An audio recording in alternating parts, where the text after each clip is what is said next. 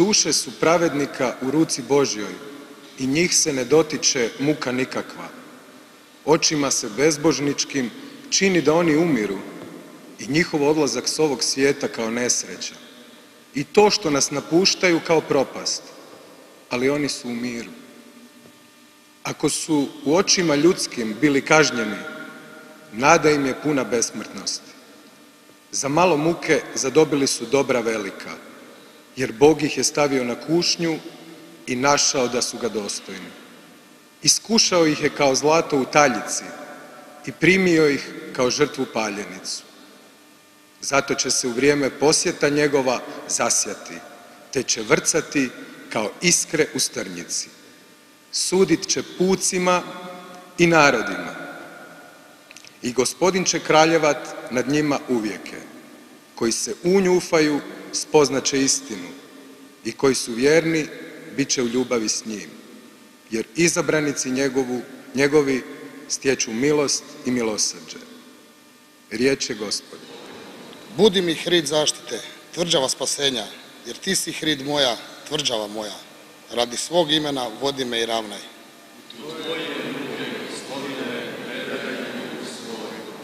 U tvoje ruke predajem duh svoj. Otkupi me, gospodine, Bože vjerni. U gospodina ja se uzdam, radosno su klicat svoje milosti, tvoje milosti.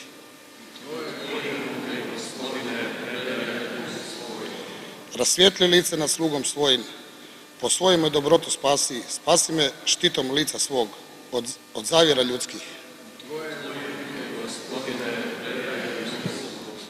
Draga braćo i sestre, dragi prijatelji, zaista sam radostan što smo se po prvi put okupili u ovoj našoj prvostolnici ili katedrali Svetoga Vida na svetu misu za riječku navijačku skupinu Armadu. Armada je snažni identitet našega grada i cijele nadbiskupije. Vaša ljubav prema voljenom klubu oduševljava i nadahnjuje. Mnogi od vas, unatoč slabijem materijalnom statusu, pratite rijeku gdje god ona nastupala, od Splita do Zagreba, od Osijeka do Pule, ali i izvan granica Lijepe naše.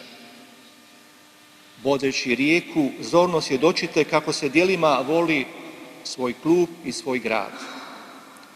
Često se susrećete s mnogim teškoćama, nerijetko i sa stanovitim nerazumijevanjem raznih institucija koje dobiva se dojam kad kada navijače predstavljaju javnosti kao velik problem, ne želeći pritom usmjeriti fokus tamo gdje su doista stvarni problemi. Mnogi su od vas odrasli podno drevnih stijena kantride, dajući svoju mladost, svoje vrijeme klubu kojeg toliko volite. Neka vam ne bude nikada žao. Sveti Ivan Pavao II, naš obljubljeni papa, rekao je mladim Hrvatima 1994. godine sljedeće. Mladi, ne vjerujte onima koji vam nude lagana rješenja. Bez žrtve i odricanja ne može se postići ništa veliko. 27 godina vašeg postojanja nije malo, a danas se posebno želimo sjetiti svih heroja domovinskog rata, napose golobradih mladića s D tribine, koji su u vrijeme agresije na našu voljenu domovinu stali na branik domovine i dali svoje živote za našu slobodu. Isus je rekao, nema veće ljubavi od ove da tko život svoj položi za prijatelje svoje. A ti momci su dali živote upravo za nas i našu slobodu. Zato nam je i danas zadaća nikada ne zaboraviti na njihovu žrtvu i truditi se unatoč svim teškoćama ostati u svojoj zemlji, u svom gradu i pokušati izgraditi bolje sutra. Da su se naši branitelji među njima i članovi armade uplašili tada nadmoćnijeg neprijatelja, mi danas ne bismo imali Hrvatsku. Ta njihova neustrašivost, viteštvo, predanje, požrtvovnost i vjernost neka i vas danas krase. U tom duhu odgajajte i buduće generacije. Kršćanski mučenici uvijek su birali biti vjerni, pa čak i kada je njihov život bio doveden u pitanje. I sveti vid kojemu je posvećena ova naša prvostolnica, a koji je zaštitnik našega grada i cijele nadbiskupije, ali i mladih, odabrao je biti vjeran Isusu Kristu unatoč tome što radi te vjernosti podnio mučeništvo. Znamo da i navijači kad kada trpe i podnose veliki teret. Vi nemojte nikada pasti u zamke, kušnje, prvi nekoga napasti. Ostanite uvijek vjerni svome čovještvu, svome viteštvu i svojoj vjeri.